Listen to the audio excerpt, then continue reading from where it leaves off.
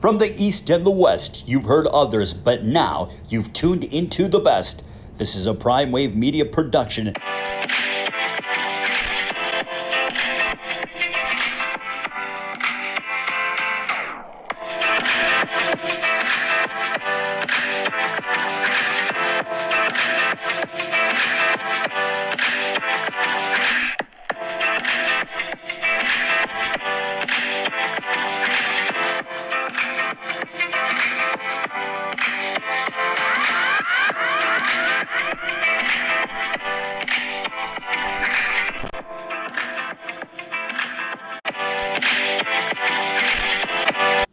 What's up, world? It's the one and only Pop DiBiase, and this is the premier sports betting show, the Primetime Angles, live on IG.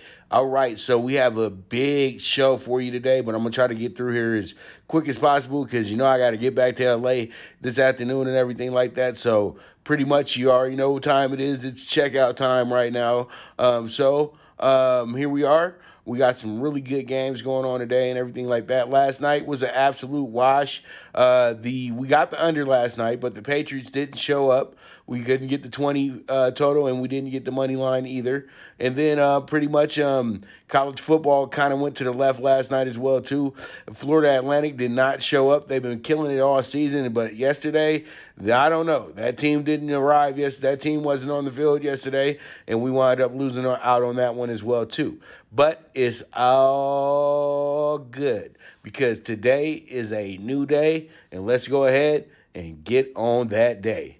All right, so here we are, pretty much.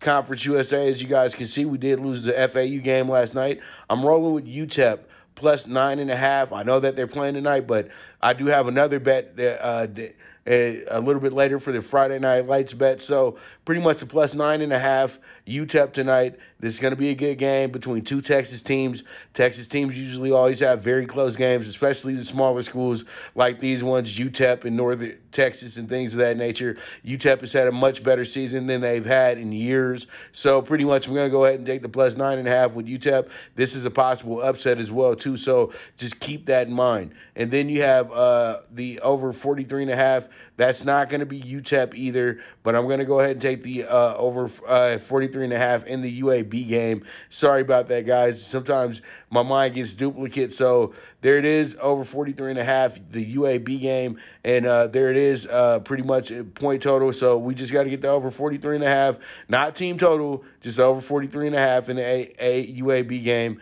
Let's see how it shakes out. We move forward from there. All right, so let's go ahead and jump into the Miggity Miggity Mac. In the in the Miggity Miggity Mac, we have uh, just a few games here, and I'm gonna um, go with um, EMU over Ball State. We have more games here. I don't know what what happened. I, I put way more games here, but um, the EMU um, minus six over 65 and a half with Ball State and um, with Ball State and uh, Western Michigan as well too. Um, so we got those two in in play. Also, uh, in the um, had the we got. I'll just go ahead and I'll make sure that when when I release it, I'll go ahead and do a little snippet, and then I'll give you guys the full full full list of it. Um, or I can just go ahead and fix it for you guys tomorrow. But I did have these uh I did have the extras. I don't know where they went, but there were the bets. They were they they were laid. I I, I I'm tripping about how weren't they written down. But let's move on to the uh, Mountain West. In the Mountain West, we got uh, San Jose State. Um, I love San Jose State tonight. They've jumped to a four and a half as well too. Just a heads up, they they were at a minus one, and then it went switched to a uh, uh, four and a half just uh, over the last few minutes and everything like that. I just caught it, and then you got the uh, Wyoming game plus ten and a half against Boise as well. I love this game as well, and then you have the under fifty one Utah State. Colorado State, and then you have the over 59 and a half Fresno State, New Mexico. Good old rivalry game between those two teams who haven't played much in the last few weeks, but Fresno State, New Mexico, I really like it over 59 and a half.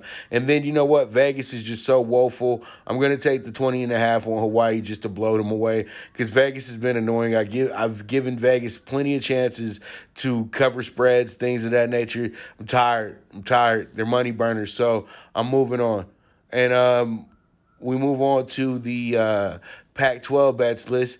The number two team, Cal, here. Um, I mean, minus two on Cal here. So pretty much let's see how it shakes out with Cal. I think this should be a good one as well, too. So we uh, move forward from there. And then we have the Colorado money line as well, too, minus 140 and the over 55 with ASU and Zona as well too. Uh, that's going to be a game that's going to be played today, and I think that's going to be a really really good game because you got uh, 11 point favorite and they haven't won a game all season. So we'll see how it shakes out. Over 55, Battle of the Desert, uh, Tucson versus. Um, Tucson versus Tempe. Let's go ahead and get it over 55. State versus Zona. All right, we have UCLA in the battle of the in the in the battle for the trophy, the victory bell. And um, I love UCLA in this spot today. It's going to be plus 120. Um, well, the tomorrow, but I think UCLA gets a big win at the Rose Bowl and they end the undefeated season of the uh,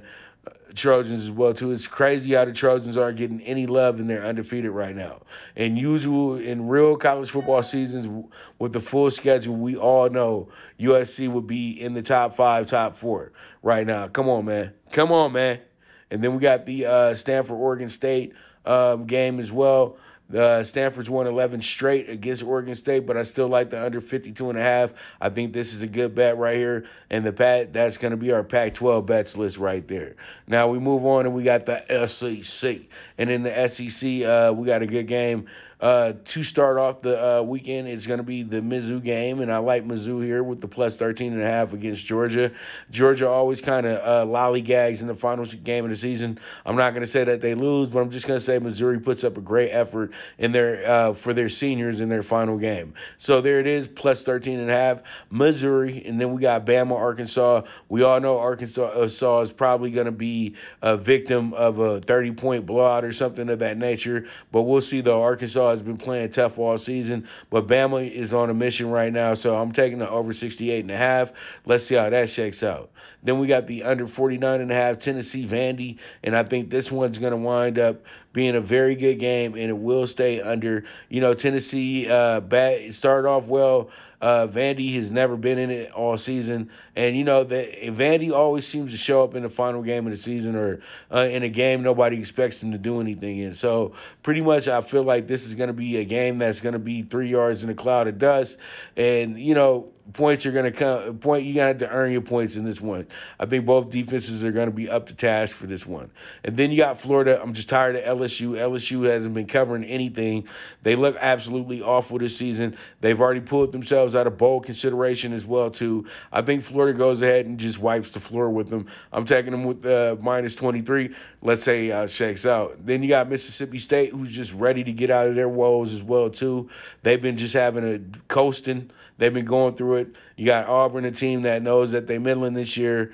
Um, and things didn't work out the way that they were supposed to, but I think that Auburn still has a good enough offense to go ahead and take care of business, win this game by double digits. We will see how it shakes out. So we move forward from there. And then we have the uh, Metro Bets list, baby. We back in college basketball, and this is my favorite conference because this conference makes me money, and it's gonna make you a lot of money if you do tell it. And sometimes you might have to fade me as well too because this conference gets uh, gets very tricky sometimes as well too. You think you might have a good spot with a big favorite over a, a, a lowly dog and that lowly dog winds up ruining your whole day. So you have to be prepared and you have to uh, be sharp in these spots as well too. Make sure you do your homework and everything, but don't worry, I'm gonna be doing that for you because um, I'm already setting up the chart and everything for um, a lot of these conferences that are about to start play in the next few weeks, specifically this one as well too. So you guys can be on the money about it. So Manhattan playing in pretty much their first game of the season. I'm taking them with the plus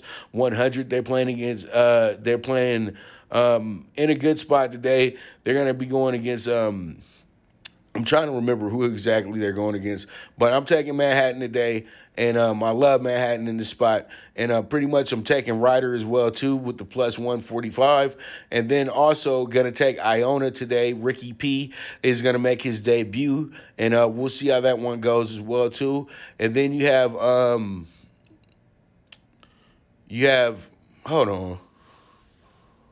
Yeah, I'm messing up because actually the rider game rider play is going to be Marist money line. Okay, so pretty much sorry about that, man. Just rushing through things and um, you got to go ahead and pay attention. But that's going to be the Marist money line right there plus 145. So you guys go ahead and that's I have to correct that for you. So yes, Riders playing Manhattan. So Manhattan is the play in that game, and uh, Marist is going to be the plus 145. Once again, I'll go ahead and I'll fix that for you guys as well too, and um, we'll make sure that we get that one right. So we got the minus four and a half on Iona and the minus eight and a half on St. Peter's as well too. So there it is. That's going to be um, the Metro bets list for today, and um, hopefully we can go ahead and sweep the board, clean them out real quick, and uh, go from there. But I do like the way this group's look, this group looks, and we'll uh, just ride it out. And then um, once again, we uh, move forward. And I know I didn't get nothing wrong on this one. This is the CBB bets list for today. We got Charlotte minus three and a half. We got UNC Asheville minus three and a half. Nebraska Omaha plus 24 and a half. Then we got the minus 13 and a half on Creighton. And then also we have the minus six and a half on Murray State.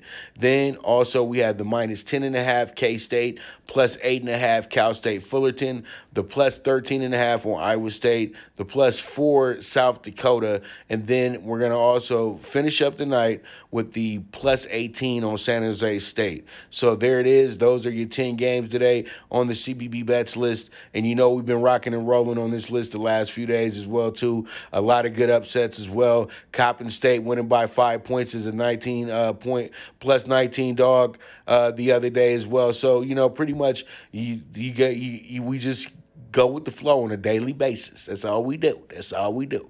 All right, so there it is with that, and then we move on to the. We move on to.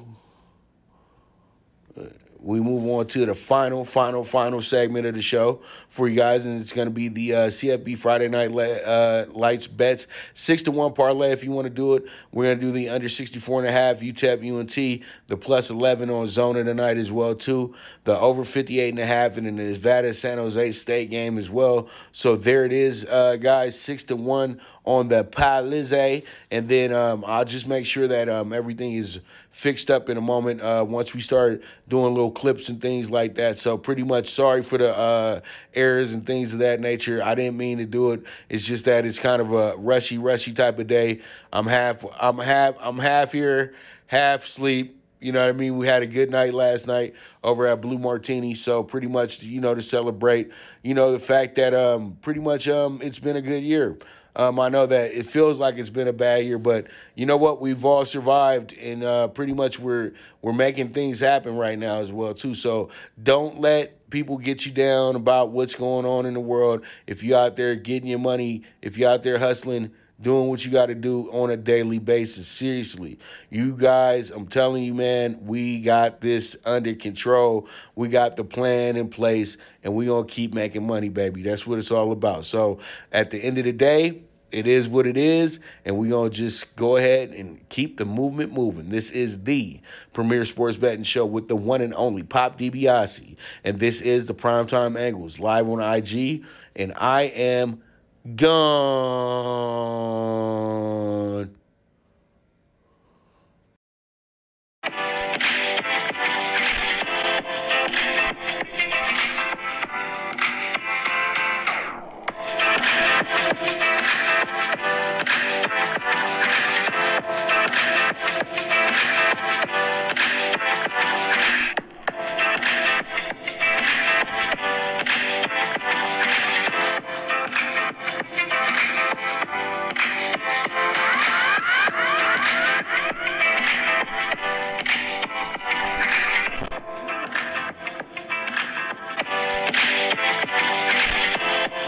Thank you for tuning in to the Primetime Angles, the premier sports betting show, hosted by the one and only Pop DiBiase, the Primetime Capper. This is a Prime Wave Media production, and go ahead and press that subscribe button.